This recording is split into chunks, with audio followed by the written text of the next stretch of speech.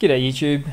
This video will show you guys how to install the Mate, the GNOME Mate desktop on uh, Linux Mint or Ubuntu 16.10 for example.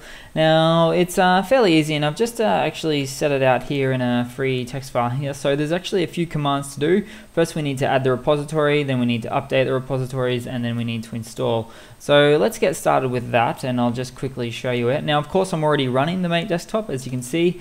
Uh, I might even also note that the, one of the cool things about it is it's, it's extremely lightweight, extremely fast. Doesn't ever really seem to use too much RAM, that kind of thing.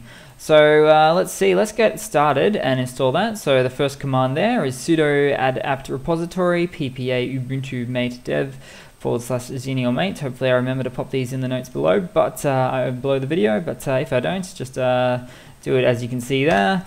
Hit enter, of course throw in your password, and uh, wait for the option to, whoop, oh actually, try that again. Pop in my password, and there we go. Then it'll ask you would you like to continue? You got the enter to continue or control C to cancel.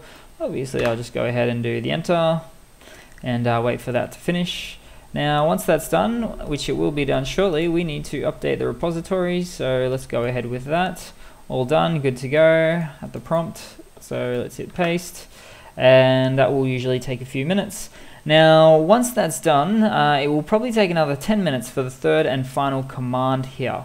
So that's just because there's about 100 meg to uh, download and then about 100 meg of uh, packages, I guess, to install, depending on uh, what you've already got uh, in the back end there of your machine. But um, essentially, it will just be that command, and then we need to log out, then log back in. So I'm just killing time talking as I'm waiting for that uh, repositories to update. And then third and final task is to uh, click, uh, yeah, so sudo apt install mate. So we're really installing the mate desktop there. I would do dash y to automate the install and uh, just let it follow the prompts, let it install. And as you can see, mine's already installed, ready to go, obviously, as we can see it all up here, ready to go.